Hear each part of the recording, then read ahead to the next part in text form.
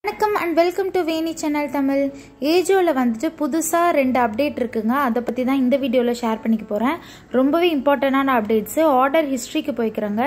இந்த மாதிரி ஆர்டர் வந்துட்டு அவுட் ஃபார் டெலிவரி அப்படின்னு சொல்லிட்டு இருக்க பாருங்க. இது வந்து டெலிவர் ஆகி எனக்கு டூ த்ரீ டேஸ் ஆகுது. ஆனாலும் இன்னும் அப்டேட் ஆகலை. இந்தமாரி ப்ராப்ளம் வந்துட்டு நிறையா வருது அப்படின்னு சொல்லிட்டு இப்போது சப்ஸ்கிரைபர்ஸ்லாம் சொல்கிறீங்க இது வந்துட்டு தானாக அப்டேட் ஆனாதாங்க உண்டு. மோஸ்ட்லி வந்துட்டு டெலிவர்டுனா டெலிவர்டுன்னு வரும்.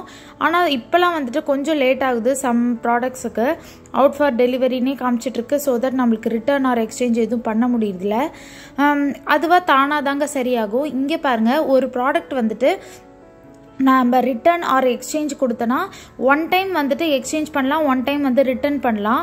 இப்போ நான் வந்து இதை எக்ஸ்சேஞ்ச் பண்ணி எக்ஸ்சேஞ்ச் கம்ப்ளீட்டுன்னு வருது பாருங்கள் இதுக்கப்புறம் நம்ம ரிட்டர்ன் பண்ண முடியாதுங்க. இப்போ இதுதான் மெயின் அப்டேட்டு ஏஜியோவில் ரிட்டர்ன் பண்ண முடியாது. எக்ஸ்சேஞ்ச் பண்ணணும் இல்லை ரிட்டர்ன் பண்ணணும்? எக்ஸ்சேஞ்ச் பண்ண ப்ராடக்ட் வந்து ரிட்டர்ன் பண்ண முடியாது. இது வந்து ரொம்பவே கொஞ்சம் ஷாக்கிங்கான அப்டேட் தான்.